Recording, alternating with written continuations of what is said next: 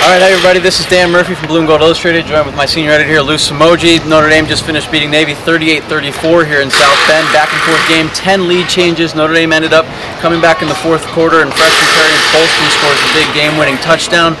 Lou, what are your instant kind of right away takeaways after this?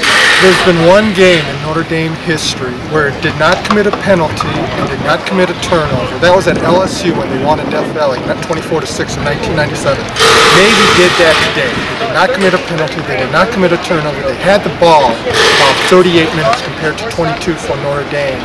They probably played about as perfect a game as you could ask for in this situation, and especially with Notre Dame getting banged up defensively survive in advance. I know it's November, that's all it is right now, survive in advance. Right, you think back and the one mistake that I can kind of think of is that fumble that they ended up falling on and recovering, but it yep. still hurt them enough and set them exactly. back to kind of end that last drive and then that last scoring threat. And without that, I don't know that Notre Dame slows them down because they did so well converting the third downs, even fourth down conversions tonight. Did a tremendous job, and from the aerial view, that reverse ball to Lynch there, you looked at it and said, that's a touchdown, written all over it. Fortunately, Eilar Hardy was able to string it out, and then Jaylon Smith was able to clean it up there. So, huge. It was, it was really huge. Right. I think when you're thinking about takeaways and those type of things, my biggest takeaway is you really can't take much from the past two weeks. I mean, you beat Air Force 45-10, you just sneak by Navy, but both of them are just so different than the normal pace of a football game and what you're used to playing that you, kind of just win them and then you throw them in the drawer and you move on to the next thing and you, and you hope you get healthy enough to keep going and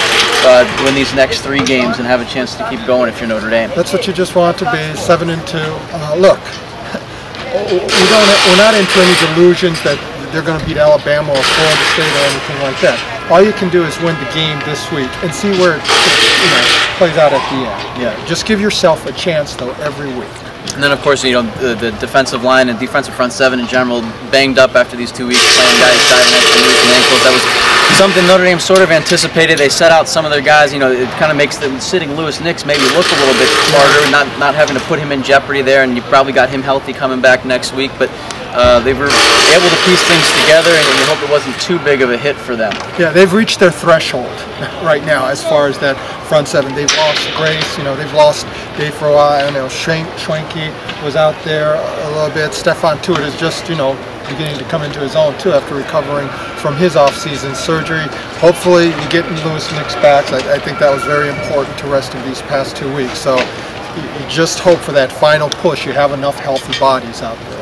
That's our first take here after this one. Again, Notre Dame 38-34 advances to 7 and 2. They'll take on Pittsburgh next week in Pittsburgh. Uh, for Blue and Gold Illustrated, this is Dan Murphy and Lou Somogyi. Thanks for joining us.